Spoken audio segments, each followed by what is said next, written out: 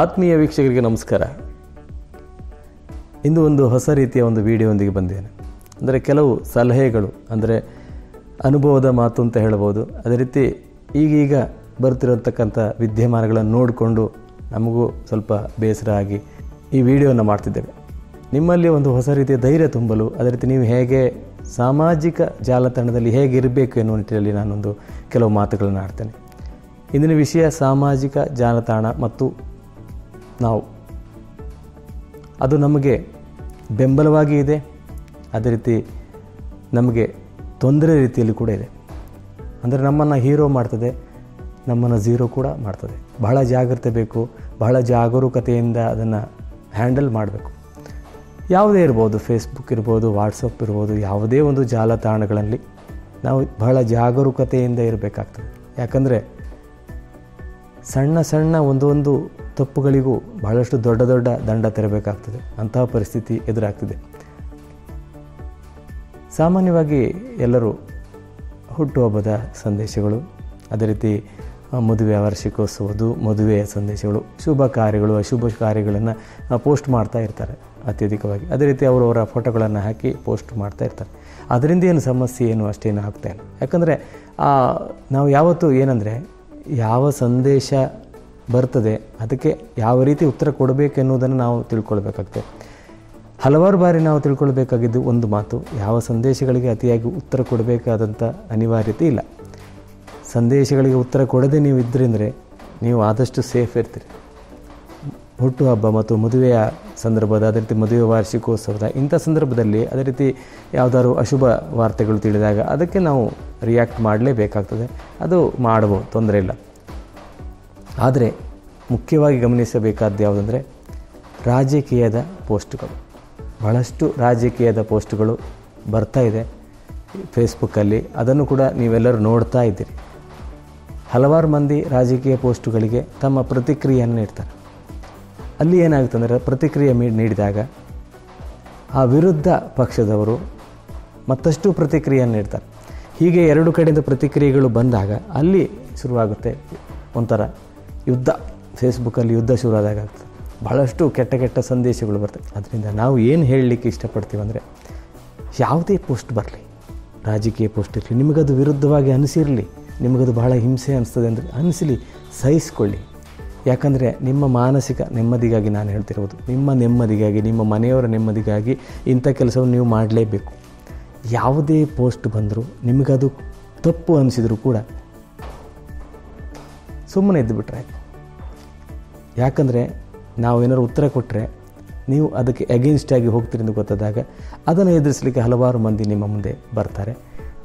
ಈಗ ಜಾ, ಸಾಮಾಜಿಕ ಜಾಲತಾಣದಲ್ಲಿ ಎಲ್ಲ ವಿವರಗಳು ಸಿಗ್ತದೆ. ಆದ್ದರಿಂದ ನಿಮ್ಮ ಏನು ನಿಮಗೆ ಕಷ್ಟವನ್ನು ನೀವೇ ತಂದುಕೊಳ್ಳಬೇಡಿ. ಖಂಡಿತವಾಗಿ ಸಂದೇಶಗಳಿಗೆ ಉತ್ತರ ನೀಡಬೇಕು ಅಂತೇನಿಲ್ಲ ಯಾವುದೇ ಫೋಟೋ ಹಾಕಿದಾಗ ಅದಕ್ಕೆ ನಾವು ಪ್ರತಿಕ್ರಿಯೆ ಕೊಡಬೇಕು ಅಂತ ಏನಿಲ್ಲ. ಕೊಡಬೇಡಿ. ಸೇಫ್ ಆಗಿರಿ. ನನಗೆ ನೈಂಟಿ ನೈನ್ ಪರ್ಸೆಂಟು ಇಂಥ ರಾಜಕೀಯ, ಅದೇ ರೀತಿ ಸಿನಿಮಾ ನಾಯಕರ ಫೋಟೋಗಳಿಗೆ, ಅದೇ ರೀತಿ ನಾಯಕಿಯರ ಫೋಟೋಗಳಿಗೆ, ಯಾವುದೇ ಫೋಟೋಗಳಿಗೆ ವಿರುದ್ಧವಾದ ಕಮೆಂಟನ್ನು ಹಾಕಬೇಡಿ.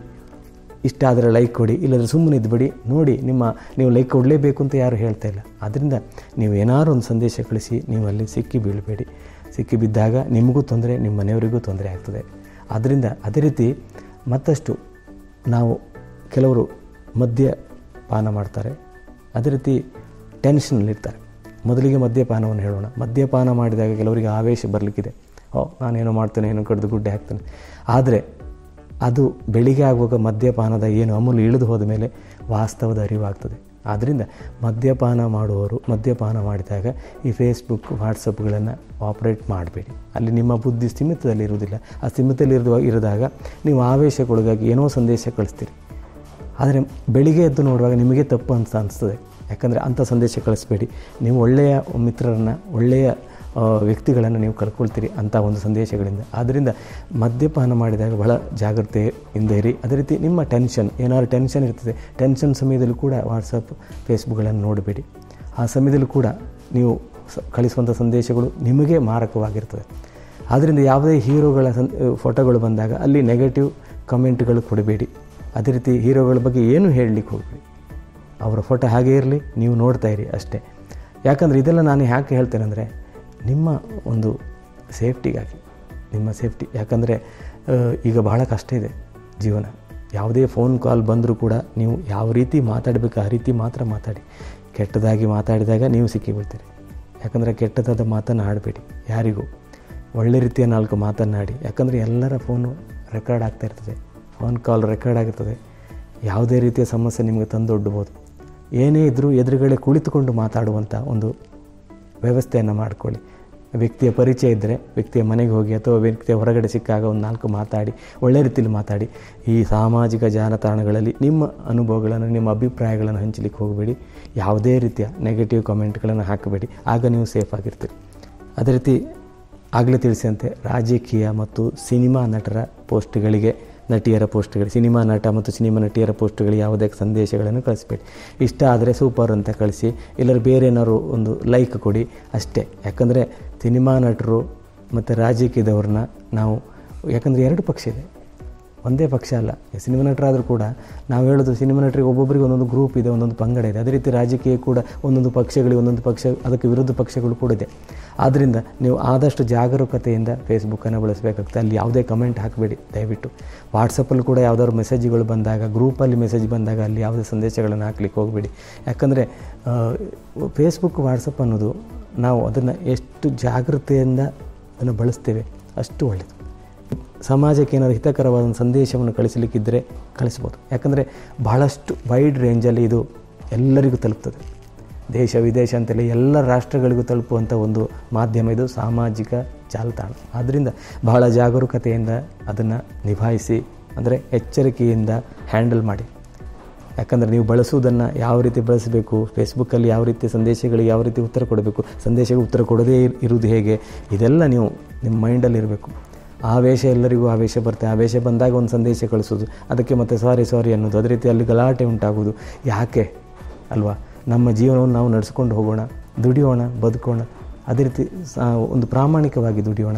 ಏನು ಯಾವುದೇ ಸಮಸ್ಯೆ ಇಲ್ಲ. ಈ ಪ್ರಚಾರಕ್ಕಾಗಿ ಸಾಮಾಜಿಕ ಜಾಲತಾಣ ಬಳಸ್ಬೋದು ಯಾವ ರೀತಿ ಬೇಕಾದ್ರೂ ಬಳಸ್ಬೋದು ಪ್ರಚಾರ, ಅಂದರೆ ಒಳ್ಳೆ ರೀತಿಯ ಪ್ರಚಾರ ನಾನು ಹೇಳಿದ್ದು ಯಾವ್ದಾದ್ರು ಒಂದು ಆರ್ಟಿಸ್ಟ್ ಆಗಿದ್ದರೆ ಅವನ ಕಲೆಯ ಬಗ್ಗೆ, ಅವನ ಹಾಡಿನ ಬಗ್ಗೆ ಈ ಕಳಿಸ್ಬೋದು ಯಕ್ಷಗಾನ ಕಲಾವಿದರು ಅವರ ನೃತ್ಯದ ಬಗ್ಗೆ ಕೆಲವು ಪೋಸ್ಟ್ಗಳನ್ನು ಹಾಕ್ಬೋದು ಅವರ ಒಂದು ಫೋಟೋಗಳನ್ನು ಹಾಕ್ಬೋದು ಯಾವುದೇ ಕಲಾವಿದ ಆಗಿದ್ದರೆ ಅವನ ಕಲೆಯ ಒಂದು ಪ್ರಮೋಷನಿಗೆ ಅದು ಹೆಲ್ಪ್ ಆಗ್ತದೆ. ಅದೇ ರೀತಿ ಯಾವುದೇ ರಾಜಕೀಯ, ನಾವು ಬೇರೆಯವ್ರನ್ನ ವಹಿಸ್ಕೊಂಡು ರಾಜಕೀಯವಾಗಿ ಚಿತ್ರನಟರ ಬಗ್ಗೆ, ಇದರ ಬಗ್ಗೆ ಖಂಡಿತವಾಗಿ ಯಾರಿಗೂ ಸಂದೇಶ ಕಳಿಸಬೇಡಿ. ಖಂಡಿತ ಕಳಿಸಬೇಡಿ. ಅಲ್ಲಿ ಪರ ಮತ್ತು ವಿರೋಧ ಇರ್ತದೆ. ಆ ಪರ ವಿರೋಧಗಳು ನಿಮ್ಮನ್ನು ಸಂಕಟಕ್ಕೀಡು ಮಾಡ್ತದೆ ಆದ್ದರಿಂದ ಸಾಮಾಜಿಕ ಜಾಲತಾಣದ ಉಪಯೋಗದಲ್ಲಿ ಬಹಳ ಜಾಗರೂಕರಾಗಿರಿ. ನಿಮ್ಮನ್ನು ಕೋಟ್ಯಾಂತರ ಜನ ನೋಡ್ತಾ ಇರ್ತಾರೆ. ನೀವು ಬರೀ ನಿಮ್ಮ ಮೊಬೈಲ್ ಮುಂದೆ ನಿಂತ್ಕೊಂಡು ನೀವು ಅದನ್ನು ಪ್ರೆಸ್ ಮಾಡಿ ಸಂದೇಶ ಕಳಿಸ್ತೀರಿ, ನಾನು ಯಾರು ನೋಡೋದಿಲ್ಲ. ಪಬ್ಲಿಕ್ ಅಂತ ಕೊಟ್ಟಾಗ ಎಲ್ಲರೂ ನೋಡ್ತಾರೆ. ಇಡೀ ಪ್ರಪಂಚವೇ ನೋಡ್ತಾ ಇರ್ತದೆ ನಿಮ್ಮ ಸಂದೇಶವನ್ನು. ಬಹಳಷ್ಟು ಜಾಗರೂಕತೆಯಿಂದ ಸಂದೇಶಗಳನ್ನು ಕಳಿಸಿ. ಕಳಿಸಲಿಕ್ಕೆ ಅನಿವಾರ್ಯ ಪರಿಸ್ಥಿತಿ ಇದ್ದಾಗ ಮಾತ್ರ ಸಂದೇಶ ಕಳಿಸಿ, ಅದು ಕೂಡ ಒಳ್ಳೆಯ ಸಂದೇಶವನ್ನೇ ಕಳಿಸಿ. ಕೆಟ್ಟ ಸಂದೇಶವನ್ನು ಕಳಿಸಬೇಡಿ. ಯಾಕಂದರೆ ಕೆಲವು ವಿಷಯಗಳಿಗೆ ಅಂದರೆ ನಿಮ್ಮ ಏನೇ ಸಮಸ್ಯೆ ಇದ್ದರೂ ವ್ಯಕ್ತಿ ವ್ಯಕ್ತಿಗಳ ನಡುವೆ ಇಟ್ಟುಕೊಳ್ಳಿ, ಸಾಮಾಜಿಕ ಜಾಲತಾಣದ ನಡುವೆ ಹೋಗಿ ಇಟ್ಕೊಳ್ಬೇಡಿ ಒಮ್ಮೆ ಮಾತಾಡಿದಂಥ ಮಾತುಗಳು ಫೋನಲ್ಲಿರ್ಬೋದು, ಅದೇ ರೀತಿ ಬರೆದಂಥ ಸಂದೇಶಗಳು, ಮತ್ತು ಅದನ್ನು ನಾವೇನು ಮಾಡಲಿಕ್ಕಾಗೋದಿಲ್ಲ. ಅದನ್ನಕ್ಕೆ ಹಲವಾರು ಮಂದಿ ಅದನ್ನು ಸ್ಕ್ರೀನ್ಶಾಟ್ ತೆಗೆದಿಟ್ಟುಕೊಳ್ತಾರೆ. ಸೇವ್ ಮಾಡಿಕೊಳ್ತಾರೆ. ಯಾಕಂದರೆ ಪರಿಸ್ಥಿತಿ ಬಂದಾಗ ಪ್ರಸ್ತುತಪಡಿಸಲಿಕ್ಕೆ. ಈಗ ಹಿಂದಿನ ರೀತಿ ಅಲ್ಲ. ಹಿಂದಿನ ರೀತಿ ನೀವು ಏನೇ ಎಲ್ಲೇ ಹೋಗಿ ಏನೇ ಮಾತಾಡಿದ್ರು ಏನು ರೆಕಾರ್ಡ್ ಆಗೋದಿಲ್ಲ. ಆದರೆ ಈಗ ನೀವು ಇಂಥ ಪರಿಸ್ಥಿತಿಯಲ್ಲಿ ಯಾವಾಗ ಯಾರ ಕೈಯಲ್ಲಿ ಮೊಬೈಲ್ ಇದೆ, ಯಾರು ಅದನ್ನು ವಿಡಿಯೋ ರೆಕಾರ್ಡ್ ಮಾಡ್ತಿದ್ದಾರೆ ಎನ್ನುವುದು ಕೂಡ ನಮ್ಗೆ ಗೊತ್ತಾಗೋದಿಲ್ಲ ಅದು ನಿಮಗೆ ಗೊತ್ತಾಗೋದು ಸಾಮಾಜಿಕ ಜಾಲತಾಣದಲ್ಲಿ ಆ ವಿಡಿಯೋ ಪ್ರಸಾರ ಆದಾಗ. ನೆನಪಿಟ್ಟುಕೊಳ್ಳಿ ಬಹಳ ಜಾಗರೂಕತೆಯಿಂದ ಸಾಮಾಜಿಕ ಜಾಲತಾಣಗಳಾದಂಥ ಎಲ್ಲ ಸೈಟ್ಗಳನ್ನು ಉಪಯೋಗಿಸಿ, ಅದೇ ರೀತಿ ಯಾರಿಗೂ ಕೆಟ್ಟದಾಗಿ ಸಂದೇಶವನ್ನು ನೀಡಲಿಕ್ಕೆ ಹೋಗಬೇಡಿ ಅಂತ ನಾನು ನಿಮ್ಮ ಮುಂದೆ ಒಂದು ವಿನಂತಿಯನ್ನು ಮಾಡಿಕೊಳ್ತೇನೆ. ಯಾಕಂದರೆ ಬಹಳ ಕಷ್ಟ ಇದೆ. ಈಗಿನ ಕಾಲದ ಜೀವನ ಬಹಳ ಕಷ್ಟ ಇದೆ. ತಪ್ಪು ಮಾಡಿದವರು ಕೂಡ ಸಿಕ್ಕಿ ಬೀಳ್ತಾರೆ ತಪ್ಪು ಮಾಡಿದವರು ಕೂಡ ಆ ಸಂಚಿನ ಬಲೆಯಲ್ಲಿ ಸಿಕ್ಕಿ ಬೀಳ್ತಾರೆ ಆದ್ದರಿಂದ ಬಹಳ ಎಚ್ಚರಿಕೆ ಇರಲಿ ಎನ್ನುವಂಥ ಸಂದೇಶ ಈ ವಿಡಿಯೋ ಮೂಲಕ ನಾನು ನೀಡಲಿಕ್ಕೆ ಇಷ್ಟಪಡ್ತೇನೆ. ಯಾಕಂದರೆ ನಾವು ಕೂಡ ಬಹಳಷ್ಟು, ಅಂದರೆ ನನ್ನ ಫೇಸ್ಬುಕ್ ಪೇಜ್ ಕೂಡ ಹ್ಯಾಕ್ ಆಗಿತ್ತು. ಅದು ಕೂಡ ವಾಟ್ಸಪ್ಪಲ್ಲಿ ಸಂದೇಶ ಕಳಿಸಿ ಹ್ಯಾಕ್ ಆದಂಥದ್ದು ಅದರಿಂದ ಬಹಳ ಜಾಗರೂಕತೆಯಿಂದ ಸಾಮಾಜಿಕ ಜಾಲತಾಣಗಳನ್ನು ನಿಭಾಯಿಸಬೇಕು. ಎಲ್ಲರೂ ಎಚ್ಚರದಿಂದಿರಿ. ಸುಮ್ಮ ಸುಮ್ಮನೆ ಮೆಸೇಜ್ ಕಳಿಸ್ಬೇಡಿ. ಒಂದು ಸಲಹೆ ಕೊನೆಯದಾಗಿ ನೀಡ್ತೇನೆ. ನೀವು ಆದಷ್ಟು ಮೌನವಾಗಿದ್ದಷ್ಟು ಒಳ್ಳೆಯದು ಎಲ್ಲವನ್ನು ನೋಡಿ ಲೈಕ್ ನೀಡಿದರೆ ನೀಡಿ, ಸುಮ್ಮನೆ ಇದ್ದುಬಿಡಿ ಸಂದೇಶ ಯಾವ ಪೋಸ್ಟಿಗೂ ನೀಡಲಿಕ್ಕೆ ಹೋಗಬೇಡಿ. ಅದೇ ರೀತಿ ರಾಜಕೀಯ ಮತ್ತು ಸಿನಿಮಾ ಇದರ ಬಗ್ಗೆ ಇರುವಂಥ ಪೋಸ್ಟ್ಗಳಿಗೆ ಲೈಕು ಕೂಡ ನೀಡುವುದು ಅವಶ್ಯಕತೆ ಇಲ್ಲ. ಯಾಕಂದರೆ ಒಂದು ನಿಮಗೆ ಇಷ್ಟ ಆದರೆ ಮಾತ್ರ ಲೈಕ್ ಇಡಿ ಸಂದೇಶಗಳು ಖಂಡಿತವಾಗಿ ಕಳಿಸಬೇಡಿ. ಪರ ವಿರೋಧಗಳು ಆಗಿ ನಿಮ್ಮ ನಮ್ಮಂಥ ಮಧ್ಯಮ ವರ್ಗದವರಿಗೆ ಬಹಳ ಕಷ್ಟ.